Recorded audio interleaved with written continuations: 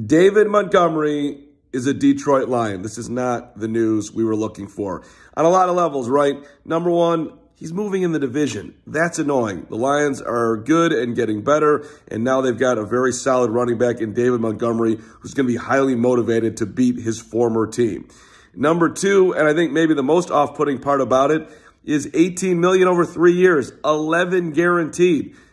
Really?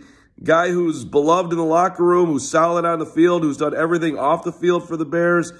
That's not a lot of dough. So it's kind of hard to figure out where Ryan Poles was at on his Montgomery decision. And yes, there are lots of running backs out there, and I'm sure he'll find one. Not irreplaceable, but still, that money, you would think he probably could have at least stayed with the Bears. And lastly, the Travis Homer news. Could we have waited a, a week for that? I mean, Travis Homer, special teams guy, six round pick, didn't need that right away.